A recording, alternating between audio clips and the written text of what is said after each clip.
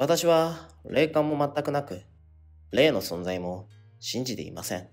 ですが、奇妙なものを見てしまいました。その日は、子供が転んだ拍子に、テレビ台へ頭を打ってしまいました。かなり派手に転んだので、心配になり、病院へ連れて行くことにしました。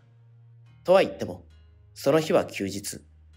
開いている病院があるはずもなく、仕方なく緊急病院へ行くこととなりました。昼間だったのですが、病院は予想以上に混んでいました。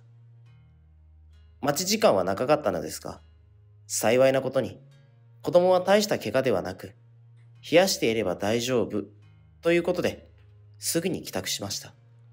その緊急病院は、入るには大通りを利用した方が便利なのですが、出るには裏の細い道を通った方が、私たちの帰る自宅へ帰りやすいため、狭い一方通行の路地を通ることにしたのです。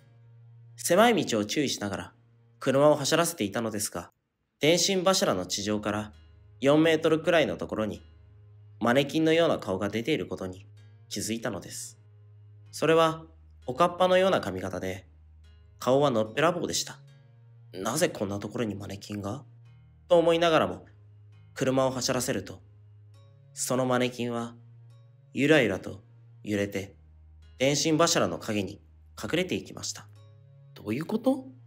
と不思議に思った私は、その電信柱のところで、車を止めて、上を見上げたのですが、人の気配はおろか、そのマネキンすらも見当たりませんでした。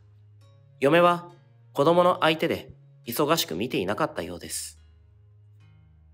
しかし、しきりに電信柱を見上げている私に、どうしたの？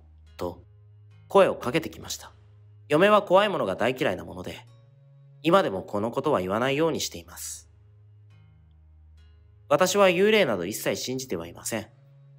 ですが、ここまではっきりと得体の知れないものを見るとなると、信じざるを得ませんね。